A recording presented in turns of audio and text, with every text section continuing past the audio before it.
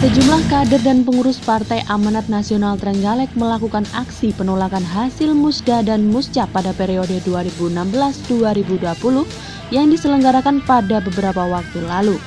Penolakan hasil musda dan muscap ini diawali dengan melakukan penyegelan kantor DPD PAN Kabupaten Trenggalek hingga menuntut dilakukannya musda ulang.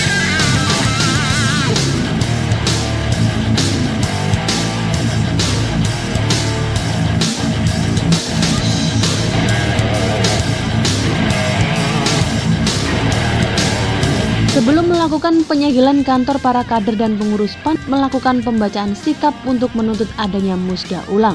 Guna pembentukan pengurus yang baru, aksi ini dilanjutkan dengan memasang sepanduk yang bertuliskan kantor PAN Trenggalek disegel serta mengunci pintu dan pagar kantor.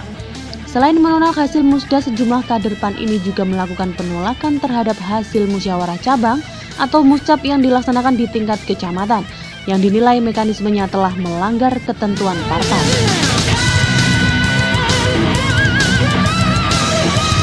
Menanggapi aksi kali ini, Tulus Arifin yang merupakan salah satu peserta aksi menyatakan musyawarah daerah PAN Trenggalek yang dilaksanakan pada 25 Agustus 2016 lalu dinilai cacat hukum dan tidak sah karena melanggar anggaran dasar dan anggaran rumah tangga atau ADART partai. Menurut Tulus Arifin, seharusnya Musda ini dipimpin oleh SC atau Steering Committee dan OC atau Organizing Committee.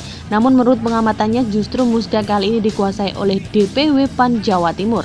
Selain itu dirinya juga menilai bahwa Ketua DPD PAN Trenggalek yang baru tidak mengakomodir para pengurus partai yang lama dalam susunan pengurus yang baru. Kami seluruh pengurus DPD PAN, seluruh uh, ketua MPP dan ketua DPC Panse Kabupaten Trenggalek dengan ditambah dengan ketua BM PAN menyatakan bahwa kantor DPD ini disegel mulai hari ini sampai tuntutan kami dipenuhi atau sampai sahnya musda tersebut. Jadi kami menuntut adanya uh, musda ulang.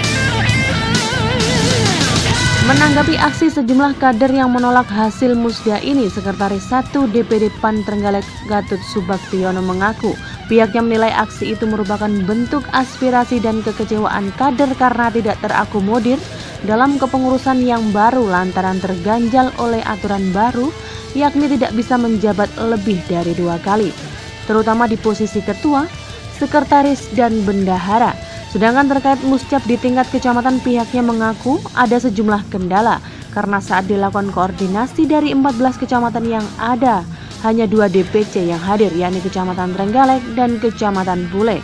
Akhirnya proses muscap diambil alih oleh jajaran pengurus di atasnya dan berhasil membentuk 11 DPC di Kabupaten Trenggalek.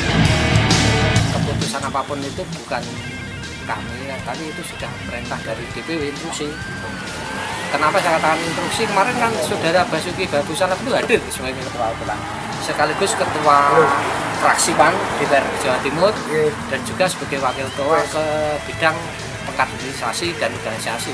Jadi kami tidak bisa menghentikan ini harus sampai harus selesai. Karena ini pada tanggal 22 besok pelantikan ini sudah harus selesai menghadirkan keputusan jadi kalau memang teman-teman mau ucap pulang ya harus minta di DPW kami kan sebagai pelaksana di kabupaten tetap komitmen apa perintah instruksi DPW